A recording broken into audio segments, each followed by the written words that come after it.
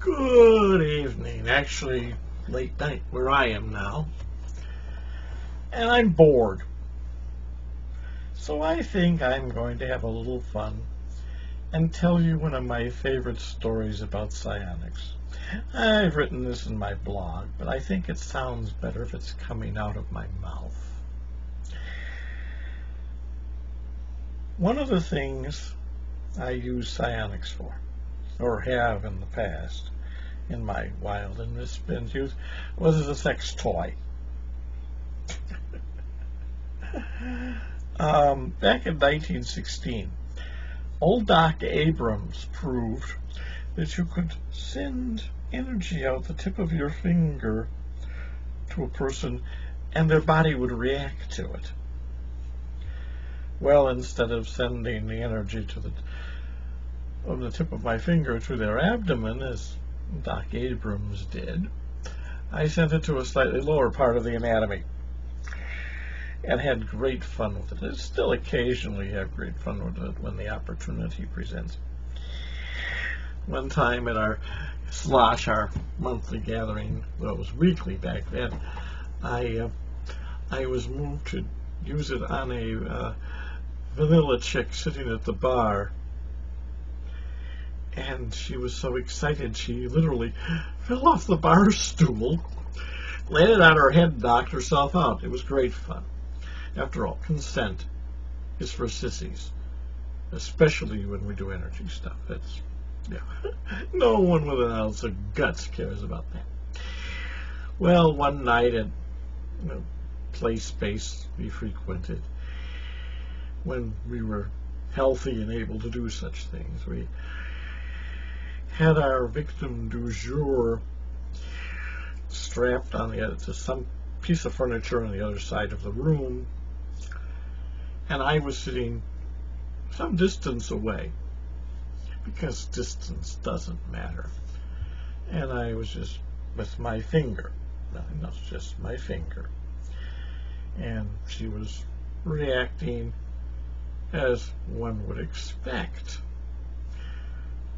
practically knocked the damn thing over.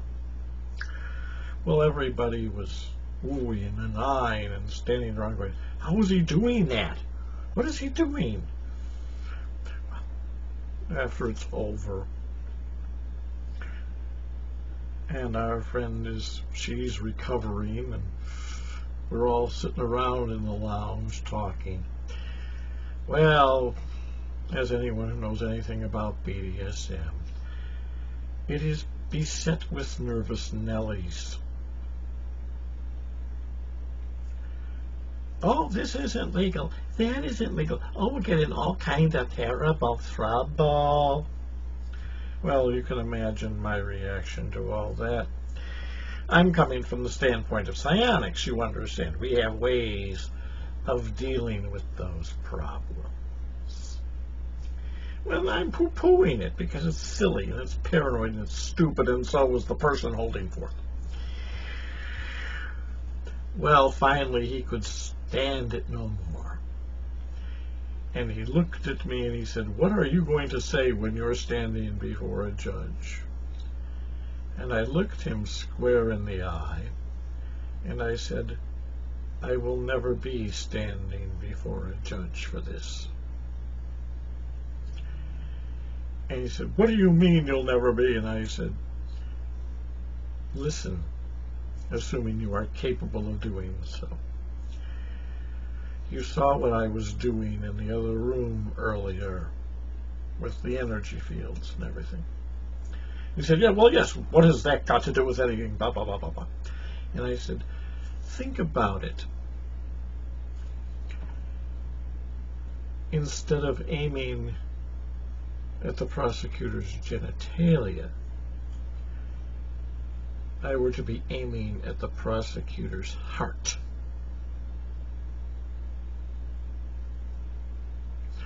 Oh, you never saw anyone turn so pale so fast. Because he knew I was not kidding. And that is my story for tonight. Oh, and while I'm at it, I need a, I have to put in a commercial. This is our new Psionic amplifying helmet.